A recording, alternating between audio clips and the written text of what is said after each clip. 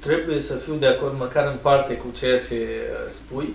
Sunt elemente remarcabile în discursul regelui, dincolo de micile mele uh, rezerve față de unele aluzii un pic, uh, să zicem, mai, mai în fine, mici șopârle, mici critici. Uh, mi s-a părut remarcabilă, de pildă, ideea că nu am uh, moștenit această țară de la uh, cei din trecut. E o frază antologică. Ci, e antologică, e probabil cel mai important lucru în discurs, ci am luat-o cu împrumut de la generațiile care vor veni. Ideea asta extrem de puternică a responsabilității este, într-adevăr, să zicem, în centrul viziunii noastre creștin-democrate. Și de altfel este în centrul viziunii noastre creștin-democrate respectul față de tradiție, iar cine altcineva mai mult decât regele în istoria română contemporană uh, încarnează această tradiție ca ființă vie care reprezintă practic istoria între noi. Nu există un șef de stat în Europa care să aibă, să fie comparabil cu regele Mihai. Uh, totuși, de 84, acum 84 de ani era deja uh, șef de stat.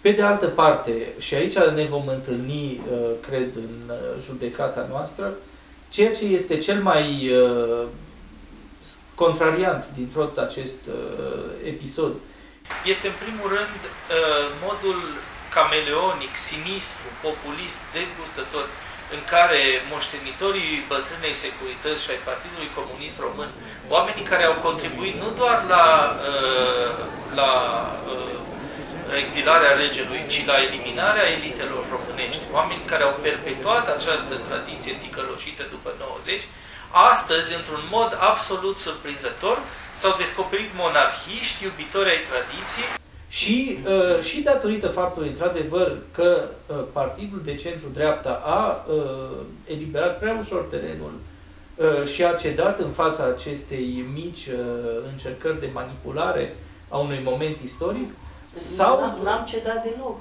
Am mă rog, fost acolo, am asigurat prezența. Da, din fericire uh, au fost și unii care au fost uh, prezenți.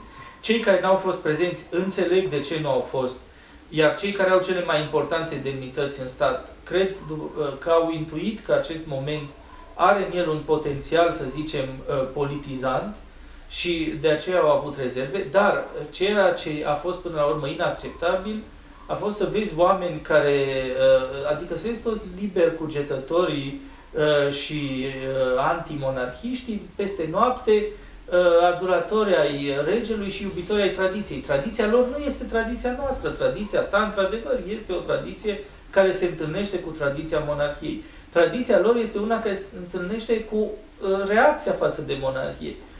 Oamenii aceștia nu sunt credibili, iar reverența lor este una falsă, care nu-i aduce, de fapt, până la urmă, niciun serviciu, nici ideii monarhice, nici respectului istoric față de instituția monarhiei și de persoana însă și a regelui și, uh, prin extensie, uh, a casei regale.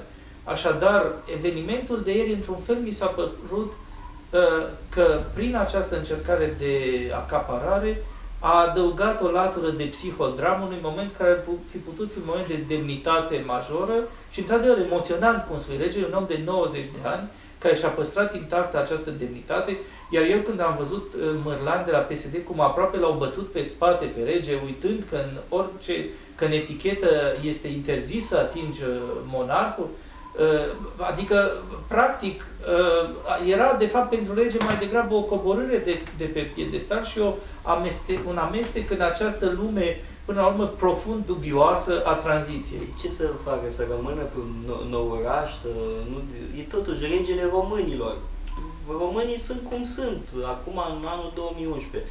Iar legat de metamorfoza unor uh, uh politicieni de stânga, recunosc că prefer pe Ion Iliescu ridicându-se în picioare la imnul regal, decât pe Ion Iliescu care uh, îl împiedica pe rege să vină în țară în 90, 91 și anii uh, următori.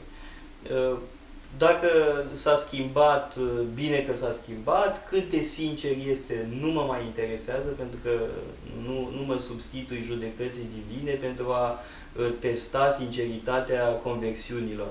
E bine că uh, are această atitudine acum, uh, bine că a venit la vorba noastră, nu?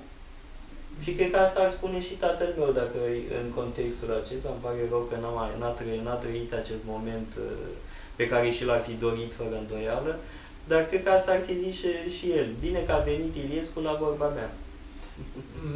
Dacă a venit cu adevărat. Nu mă mai firește, interesează foarte mult acest lucru. Pentru o poză, mulți oameni sunt dispuși să renunțe la crezul lor. De anumite, Ion Iliescu nu a renunțat deloc la crezul lui republican. Nu a devenit sunt monarhist. convins, sunt convins. Dar uh, poza dădea uh, bine. În fine, uh, momentul putea fi mai bine decât a fost. Uh, dacă nu era da, această... Suntem în România și anumite bâlbe sunt uh, inerente aproape. Uh, dar una peste alta a fost, după mine, un uh, moment cu adevărat memorabil, cu adevărat onorant pentru Parlamentul României și pentru națiunea română în ansamblu ei.